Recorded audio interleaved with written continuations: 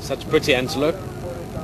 They look very fluffy from a distance. Now, like the adults, they also have quite a coarse and actually hollow hair, so that, that hair, if they do go into the water, can dry out very quickly. So it's quite bristle-like when you get close to it.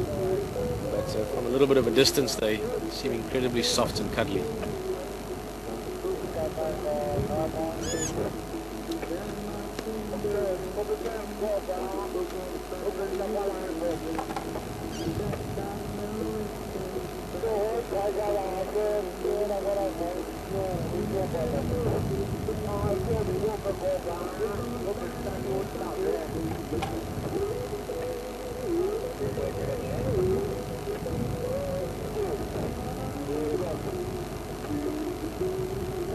Quite interesting. I'm just looking at a, tail blowing in the breeze. The belly looks quite big now, even though she's got a calf.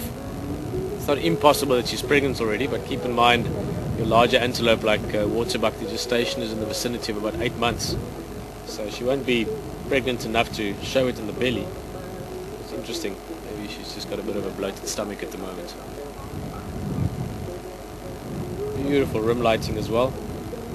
Again, the sun already getting low behind her.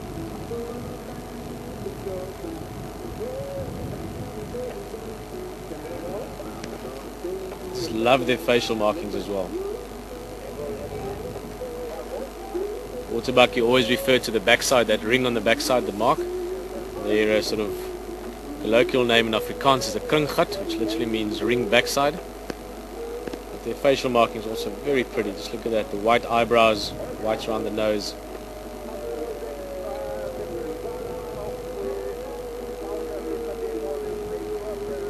See, even though it's windy out here, a few flies bugging her as well.